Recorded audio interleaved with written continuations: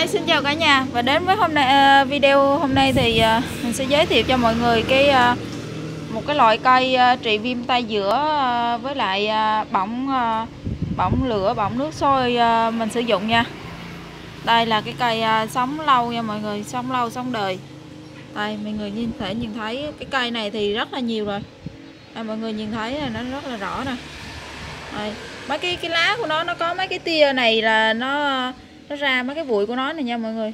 Nó già là nó sẽ ra nó mọc mấy cái ờ, cái bụi nhỏ nhỏ ngay chỗ ờ, cái cái cái cái mắt này nè mấy cái cạnh khía này nè.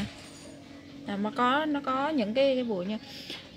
Nó có nhiều loại sống đời lắm nhưng mà cái loại này nè mọi người ờ, bị viêm tay giữa là mọi người chỉ là- chỉ cần hái cái lá này và mình mình xay nhuyễn ra mình lấy cái cái chất nhờn này nè mình, mình lấy cái bông quấy tay mọi người mình chấm rồi mình à, xe trong tay mình nha. Cứ làm như vậy à, một ngày mà một đến hai lần, mà mình làm à, mấy ngày thì nó sẽ bớt nha mọi người.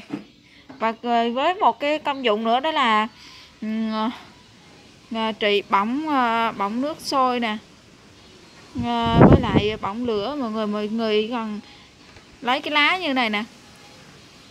Mình giả nhuyễn ra, mình đắp mình đắp lên cái chỗ vùng bị bỏng nha mọi người là nó sẽ ờ, làm vết thương mau lành và nhanh bớt nha mọi người. Đây đây nè cái cái lá này nó có mấy cái cái bụi nhỏ nó mọc này đây đây là cái cái lá già nó nó mọc cái này nó rụng xuống là nó mọc ờ, cái bụi con thôi đó mọi người. Cái nó rất là đơn giản nha. Đây uh, video của mình đến đây là hết rồi. Chúc mọi người uh, áp dụng phương pháp thành công nha.